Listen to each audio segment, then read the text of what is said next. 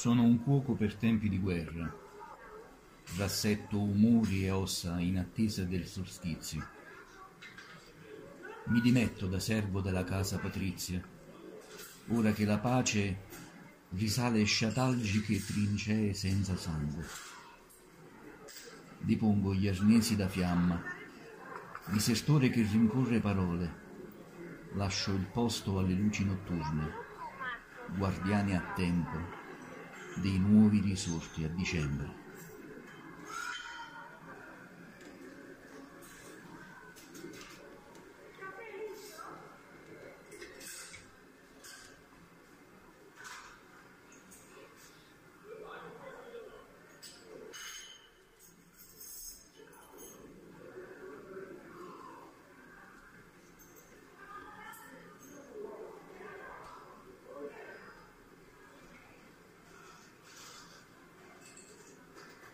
Dove sono la sfida e la folle riscossa che seguivano a una crisi, alle sciagure?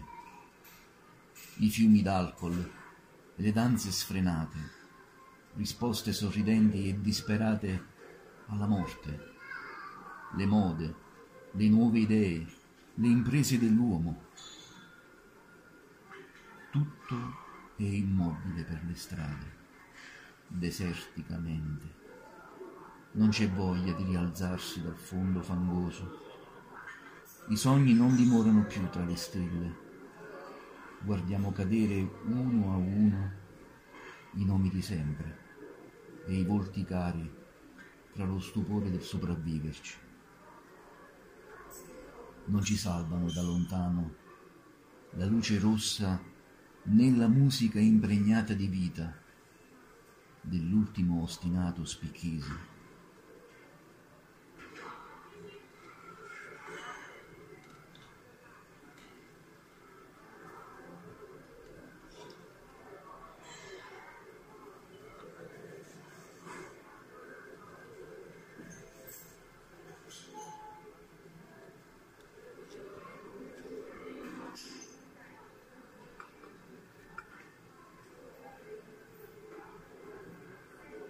Quando domani tornerai a vivere, riconoscerai i giorni della non vita che oggi chiami con nomi di fantasia, sedia, arcobaleno, benda, cordo, sacchetto di plastica i pensieri mentre pedali nella sera.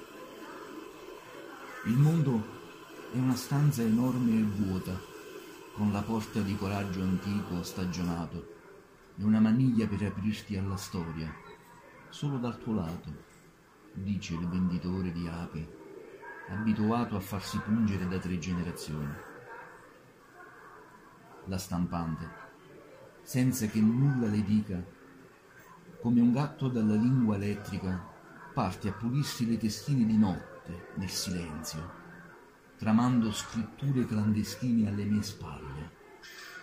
Lei sa cosa fare nel buio del suo sesso d'inchiostro, puntato su fogli bianchi d'inconscio, descrive meglio di voi assenti i giorni persi, contando pillole e respiri di madri bambine.